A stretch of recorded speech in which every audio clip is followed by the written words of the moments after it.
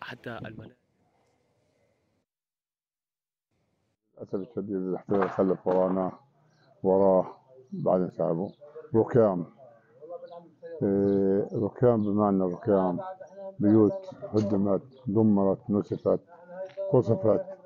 للأسف الشديد ما بعرف أن هي السياسة هذه في العالم تتبع.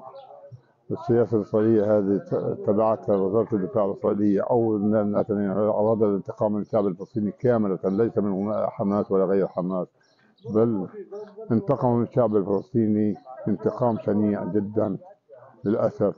ما بعرف هل هو بزرع الحقد في الأجيال الجاية لمنعهم من من العيش بسلام. إحنا نزحنا قبل 20 يوم على مخيم الشاطئ الأماكن اللي قالوا عنها أماكن آمنة الجيش فرجعنا اليوم تفاجئنا بكم الدمار الهائل اللي إحنا شايفينه. زلزال ضارب معسكر جباليا بشكل عام.